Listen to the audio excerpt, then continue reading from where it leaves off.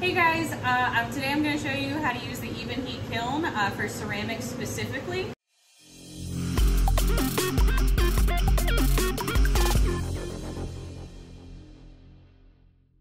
So I'm going to show you how to program um, a slow cone 05 bisque.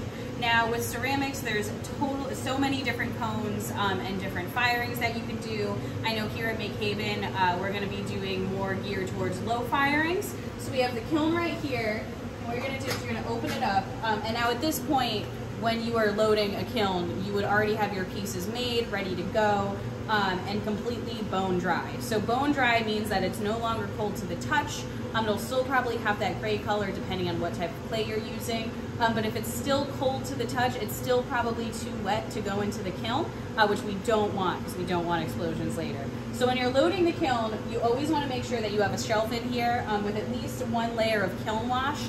Uh, not super important for the for the bisque, but more so for the glaze, because uh, if you're doing a glaze firing, that glaze is going to melt, and you'd rather it melt onto the kiln wash rather than the shelf itself. Um, when you're loading the kiln, I know this one's a little bit smaller, but fit what you can in here. And with the bisque firing, you don't have to worry about pieces touching because there's no uh, glaze or um, that's going to bondage together or anything like that. But when you are loading, we do have the thermocouple right here, which does read temperature, and that is important to the kiln. So you do want to be cautious of that when loading up your pieces into here. So even though this is an electric kiln, um, so it does all the work for you, you want to put that cone pack in there just to make sure, just in case something's going on and the kiln monitor says it reached a certain point, but if you have that cone pack in there and it's not melted down to the temp that you need it to, you know something internally is going on that needs to be figured out um, and that something's not matching up. So once you have your kiln all loaded, we're gonna close it up with your cone pack in there, ready to go. And then so here, um, you can uh, program your own firing that you want, depending, you know, if you're doing an 04, 05. Um, each cone is going to have a different firing setting. I know there is a ceramic um, portion of the manual at the, one of our bottom drawers, um, and also a lot of information you get online um, if you need specific segments and temperatures and, and ramps to kind of hold on to. All right, so over here, I already started a new program uh, for this specific firing. Obviously, there's nothing in here, so we won't be doing it uh, today. Um, so I already got it started with step one, um, and it is important for bisques is that the ramp rate is 80, so that's gonna go 80 degrees an hour until it hits 180. And now 180 is below boiling point, which is what we wanna keep it at. Because as you know, I was talking about how um, the, the clay is cold. So even if your clay is completely bone dry, there's still tiny little water molecules that are gonna be in there. And if you set the kiln to ramp up too fast and there's still those water molecules, once it heats, uh, reaches the boiling point, it's gonna do what water does best and it's gonna boil and that's how you get explosions. It's gonna expand within the clay um, and we don't want any exploding pieces in our kiln at all. So so if you're going to add a firing to this kiln, which is nice because you can save um, a specific firing that you want. And so once you programmed it, it's already saved in there. So later on, you can just click like, so this is um, anneal, which I think is for metal work. Um, so if you're doing metal work, you can click on that. But it's a nice, easy way to always have it uh, programmed in. But we don't have that yet. So we're going to hit new schedule over here. Now it's asking me for the title. Um, so right now, I'm going to put a 05 fast. All right, 05 fast bisque. You wanna make sure it's fast in there because if somebody has a bigger piece, they won't get confused and they'll know that they'll need a slower one. But this is just the firing that we're doing. So we're gonna add a step. And so this is segment one and we're gonna go 80 degrees an hour and it's going to go up to 180. And now we're gonna hold that for four hours. And we're gonna say no to this and no to this. It's gonna go to 180 and it's gonna hold for four hours. Now for a bisque, you want at least four, up to 10 to 12 hours, depending on what kind of piece you have in there. Like if I'm firing a bunch of tiny little cups, um, four hours is fine. If you're gonna put a sculpture in here, I'd recommend longer because that's a lot more uh, clay that has to be dried out. So from here, we got the hold, um, and I'm going to now add a new step. Add step. Now from here, I'm gonna actually keep it going 80 degrees because we're still, it's still slow. So we're doing 80 degrees an hour still. and that's gonna go up to 250. For a slow one, yeah, we'll keep that there. Kind of just keep it. You know, you want you want some holds. Um, nope, nope.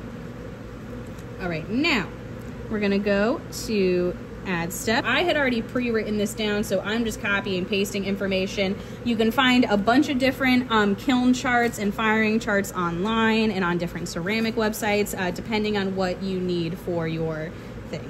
All right, so we're, we're gonna create a couple more steps. So now we're gonna go to 250 an hour. That's gonna get up to a thousand degrees. That's a thousand, yep. Zero. Nope, no. Perfect, okay.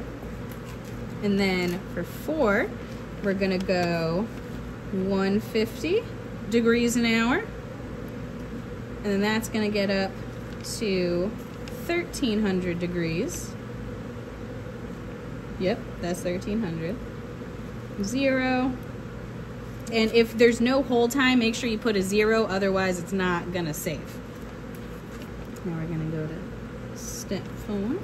We're going to 180 degrees an hour now to 1685 temp, zero hold.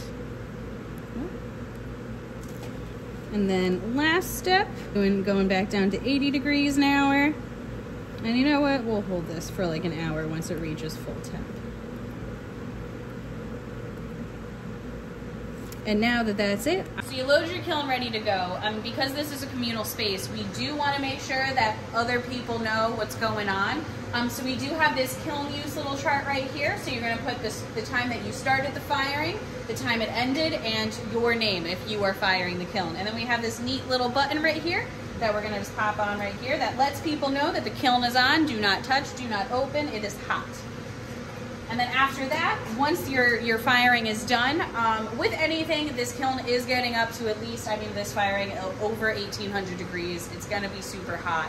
Um, with bisque, you don't have to worry about it too much, um, but I say regardless, uh, don't open the kiln door if it's over 100. Um, you know, we do have some gloves over here that you can use to pick up pieces if it's still hot, um, but with glazes as well, because glaze is, um, it does turn into glass, uh, essentially that uh, you definitely want it to give it time to cool. It's not exactly like glasswork where it's super de de de detrimental. Uh, but you know, if you take a piece of glaze out too too fast and it's still too hot, that's when you're going to get a lot of cracking and you're going to hear it like ping and stuff like that, which you don't want because you want to be able to use uh, the whatever beautiful piece of ceramic that you have just made. Um, so I say rule of thumb, regardless if it's over 100, uh, just let it chill out, let it let it cool down, and once it passes, it goes below 100 degrees, open it up. And you're gonna carefully, like just like loading it, you're gonna wanna unload it, watching out for those thermocouples and everything like that. Um, and you know, God forbid anything happens with, uh, you know, if a piece does break, if something goes wrong with the firing. As I said before, this is a communal space, so we do want to make sure that whatever bits or messes uh, happens in this kiln, that it is our responsibility as the fire to clean it out and make sure it's uh, nice and clean and spec and span uh, for the next person to use it. Um, and there you go. And that is a quick crash course um, on the EvenHeat kiln for ceramic use specifically. And um, just like anything, you can find, you know, if you want to use a specific glaze or a specific clay, um, there are so many websites online to teach you uh, what, what firings to go with what and what schedules will work best for what you want to make. So thank you. Uh, that was the crash course.